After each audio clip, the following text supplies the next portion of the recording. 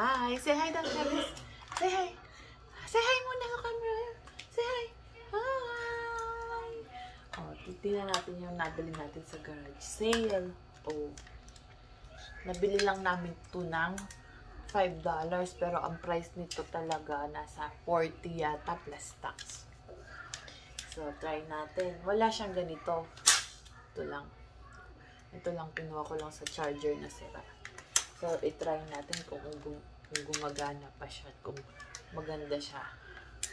Ring light siya ng Mickey Mouse, Disney.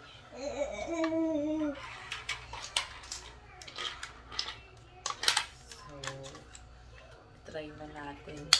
Ano, bebe? So, isasaksak natin siya.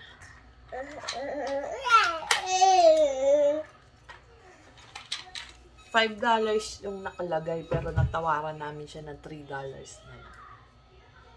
So, ayan. Umiilaw na siya. Oh! Wow! See? Sulit. Parang nahihinaan pa yata yung kulay niya. O naiiba. Wow!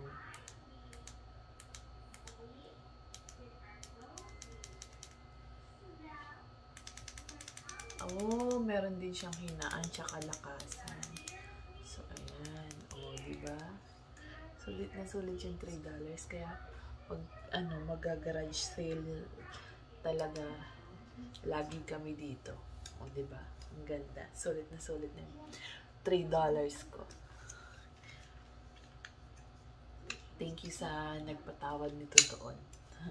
Yun lang guys. Maraming salamat sa panonood. Tsaka may stand pa siya dito. O, di ba? Lalagyan mo siya dito yung cellphone mo.